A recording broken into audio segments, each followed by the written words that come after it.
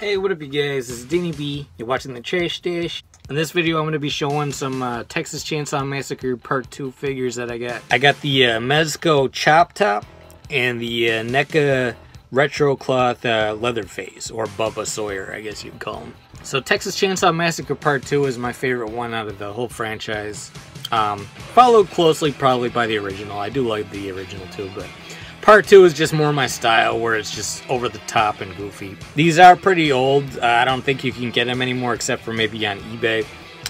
And the Chop Top comes with like a little Nubbins figure too that I put with uh, Leatherface. Leatherface came with like a couple different weapons. Like he had the, um, I think he had a knife or something, and then he had like the little turkey carver. And of course, I had to put him with the um, the chainsaw because of course. And then Chop Top came with a bunch of stuff. I actually got the Chop Top used off of eBay, but it just came with all the stuff still. And I got it for, I was lucky I picked this up when it did. I, I think I got this for, for like 40 bucks, and now it goes for like 100 even open.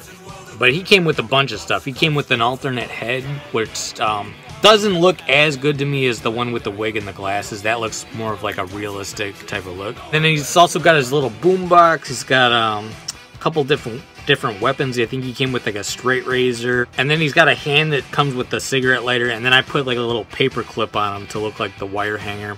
Even though I think the, the figure does come with one, but it just doesn't look as good as um, like a paper clip does. And yeah, I think these figures look really cool. I like um, the detailing. I actually think the Mezco Chop Top looks better than the NECA one they did. But the um, the retro cloth Leatherface looks great, I think. And in the movie, I think they're around the same height, but I always picture Leatherface being like just a giant, so the, the size difference is pretty cool. And I kind of tried to recreate the scene where he's holding up uh, Nubbins and doing the chainsaw, so I got him in there.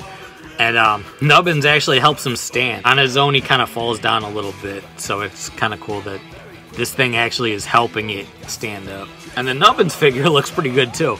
If they ever make a uh, Drayton figure, I gotta pick that up because Drayton's actually my favorite character out of the um, three Sawyers. Hey guys, this is Danny B. You're watching the Trash Stash. Let me know if you've seen uh, Texas Chainsaw Massacre Part 2.